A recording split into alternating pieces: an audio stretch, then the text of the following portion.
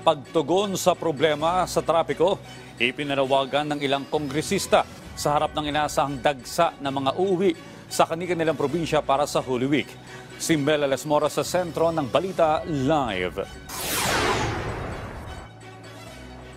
Audrey, ngayong Semana Santa nanawagan na nga ang ilang kongresista sa mga concerned government agencies na iba yung tugunan ang problema sa trapiko para ang ating mga kababayan hindi mahirapan. Abala na ang ilan nating kababayan sa paghahanda para sa pagbiyahe ngayong Holy Week.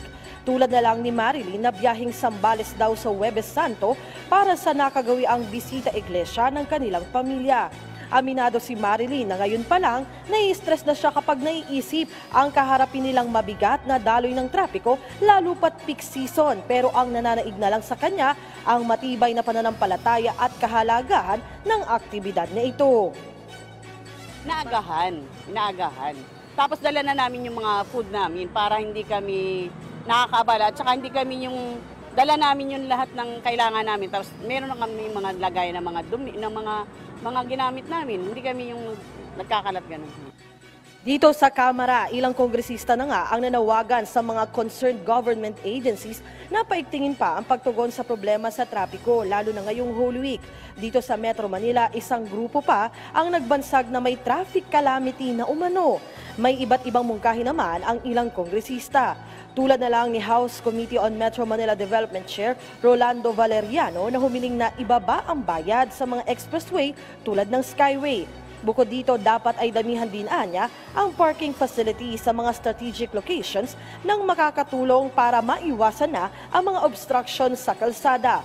Ang Vice Chair naman ng House Committee on Metro Manila Development may hiwalay ring mungkahi. nais ko po sana manawagan sa DPWH at sa MMDA na sana bilisan po natin ang paggawa ng mga flood control at mga kalye at mga bridges. Dahil alam naman po natin, ngayon po ay summer, samantalahin na po natin itong summer dahil ah, pagdating po ng tag-ulan, mas titindi pa po dito ang traffic. Kaya ako po naniniwala na meron po tayong proseso na dapat sinusunod pero siguro kung ito po ay bibilisan natin, kung kinakailangan po gawin po nating 24/7 ang ah, paggawa sa mga proyekto ng ating gobyerno nang sa ganon eh maibsan kahit papano ang trapiko dito sa ating ah, lungsod dito po sa Kalakang Maynila eh gawin po natin. Sa isang pahayag naman ni MMDA Acting Chairman Don Artes, kinumpirma niyang may 24-hour roadworks na ikinasa ang pamahalaan ngayong Semana Santa simula Miyerkules Santo hanggang sa lunes ng madaling araw na para rin naman sa ikabubuti ng lahat. Audrey, bilang bahagi nga ng oversight function ng Kamara, ay ah, patuloy ang mga pagbabantay ng mga kongresista sa iba't ibang hakbang at proyekto ng pamahalaan para matiyak na ito ay ah, na ipapatupad ng maayos at nabibigyang pansin yung mga kapangailangan ng ating mga kababayan. Audrey?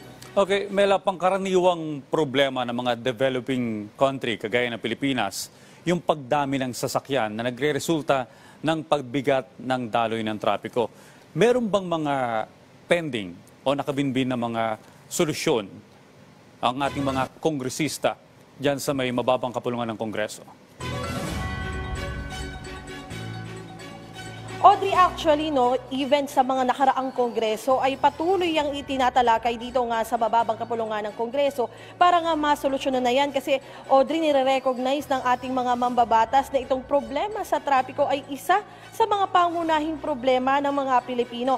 Audrey, sa katunayan, no, bago ang ah, Holy Week break ng ating mga mababatas, bago yung session break, ay ah, isa sa mga natalakay naman nila itong ah, pagbibigay permiso ng uh, pangmatagalang permiso sa mga motorcycle taxi bilang ah, alternatibong ah, ah, paraan nga ng transportasyon at maiwasan na nga din yung mga traffic. Pero Audrey, no, sa ngayon, inaabangan pa natin kung ano yung magiging mga pinal na tugon ukol dyan ng ating ah, Kamara dahil um, we have to take note, Audrey, no, na hindi lamang naman sa Kamara dumadaan yung mga panukalang batas. Dapat yan ay ah, maaprubahan din ng Senado at syempre, finally, dapat ay ah, makarating din sa Malacanang at mapirmahan ng Presidente. So Audrey, sa mga transportation problems sa bansa ay talagang nga marami na rin panukalang na ihahain dito nga sa ah, Kamara at even sa Senado. Pero ang inaabangan nga natin kung ano yung magiging pinal na tugon dyan ng mga mambabatas at syempre ng Malacanang bago tuluyang maipatupad. Audrey? Maraming salamat, Mela Lesmoras.